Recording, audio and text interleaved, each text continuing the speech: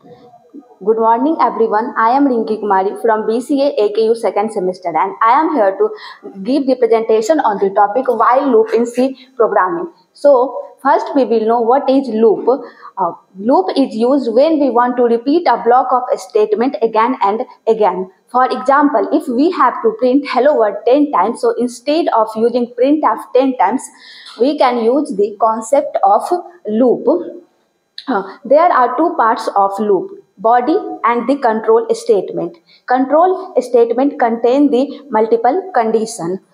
Loop provides code reusability means we can use the code multiple times without writing it. There are three types of loop in c programming language. First one is while loop second one is for loop and third one is do while loop. So now we will know what is while loop in c programming language while loop is used when we know the iteration but we don't know the number of iteration. It is also called pre-tested loop or entry control loop because we will go inside the loop when the condition in the while is specified is true. So it will run minimum zero times.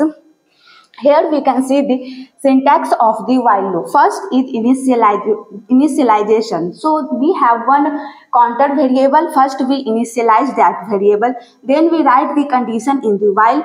Uh, then curly braces. And this is the here we write the block of a statement which we want to execute multiple times.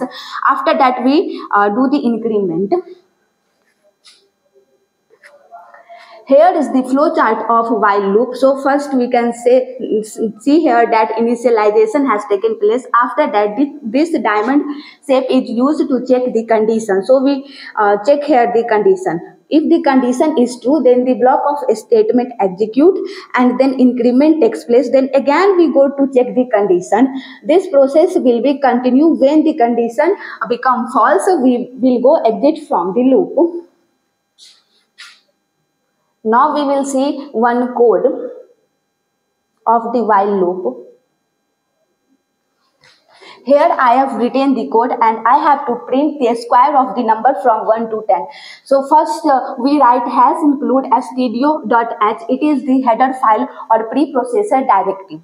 After that, we write int main. It is the mandatory function of the C programming language. Then I have declared here uh, i, which is the integer variable, and initialize it with 1. And this message is for the user that we have to print a square of number from 1 to 10. And backslash n will be break the line. Then I have written the condition in while that uh, if i is less than or equal to 10 then we will go inside the loop. And here condition is true so we will go inside the loop. And here i have declared one more variable square which is of integer data type.